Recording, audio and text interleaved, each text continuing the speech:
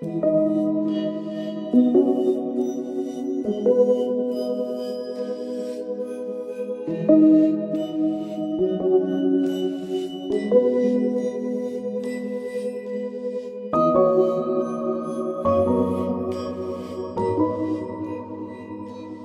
folks, we're actually near Landenberg, Pennsylvania today. This is the London Tract Meeting House here. And we're in an old cemetery. And there's an old lore, an old legend here in the cemetery. You turn the camera around and it's right here. This is known as the Ticking Tomb. The story goes is that when Charles Mason and Jeremiah Dixon were down here in the mid 1760s, surveying the area for the well-known Mason-Dixon line. The, uh, they had a campment nearby here, and a little boy named Fithian Minuet. Surprised I actually got that right. Uh, he had walk, uh, sort of walked in. He was a toddler to their tent, into their tent, and uh, was crying and upset. So uh, Charles Mason gave him his pocket watch, and the boy promptly put it in his mouth and ate it, swallowed it.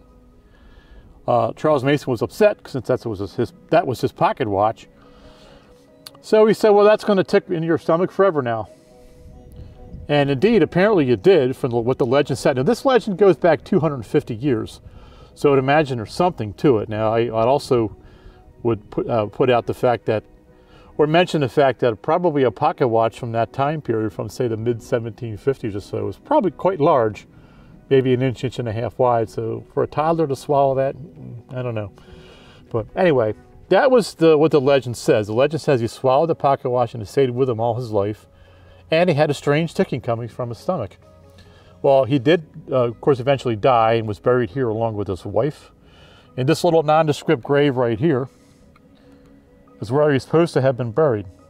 Now, it's a grave right next to the heart shaped marker, this tombstone here, which is right here. So we do believe we have the right grave.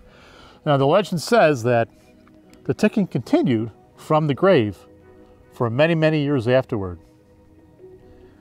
Now, people have come down here, and, and you've actually seen on videos people coming down here and, and pictures and all putting the ear up against this uh, little marker here to see if they hear, hear anything.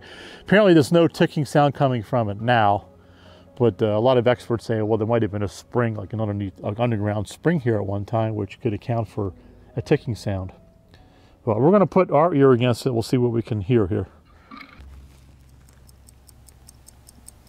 No, wait a minute. Do you hear that? Oh, hold on a second.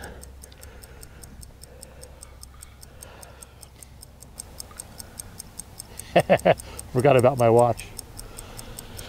Let's put that aside.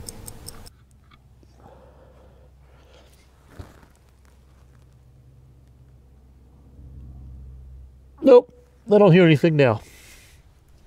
Furthermore, the tale of the ticking tomb actually is supposed to have spawned another legend. Edgar Allan Poe stayed here, and that's true. He definitely did stay here. It's documented nearby.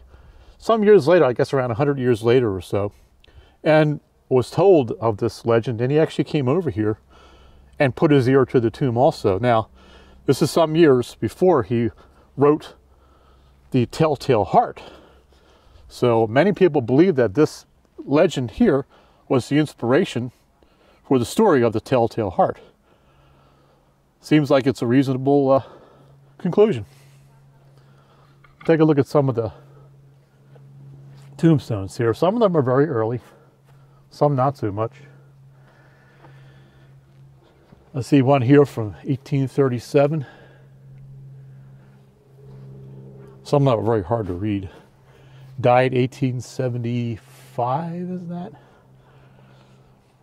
So we're going into the early 1800s, and maybe some here from the late 1700s. Some of these back here are quite a bit older. And you can see there's a lot of disrepair here. Some of them have really uh, collapsed here. You can see these here. And the writing on, on these tombstones here that lay horizontal is just all worn off. There's, there's very little that you can read.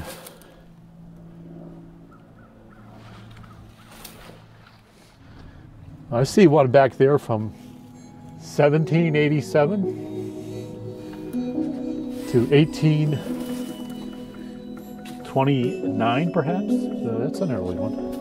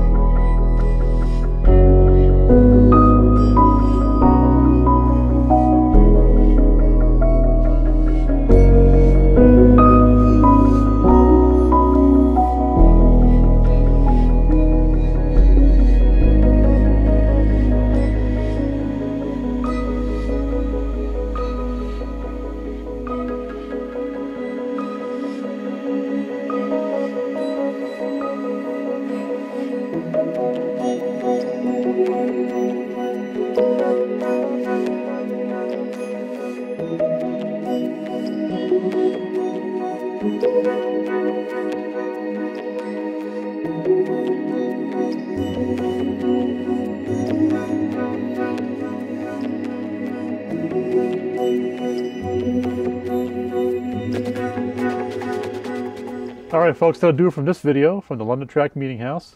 Take care, be safe, and we'll see you in the next video. Bye-bye.